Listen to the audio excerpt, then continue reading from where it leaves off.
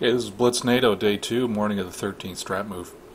My German units down here in Mouzon and Montmedy are staying put. Goal is to just slowly encircle these two French units, keep them on the map, and slowly wear them down. It's a French supply depot map, both of them. So even if we disband them, a new unit's going to spawn there the next day or the next strat move.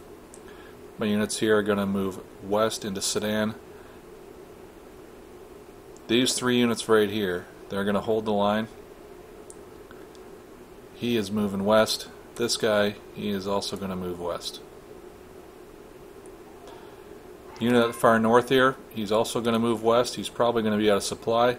That's fine. As long as I get some of this city, I'll be fine to survive a few maps, or a few turns. Okay, and here's what we got. I'm up against a French armored unit up there. He definitely is going to be out of supply. French attack me here in Nouzonville. And it looks like I have an attack into Wadelincourt.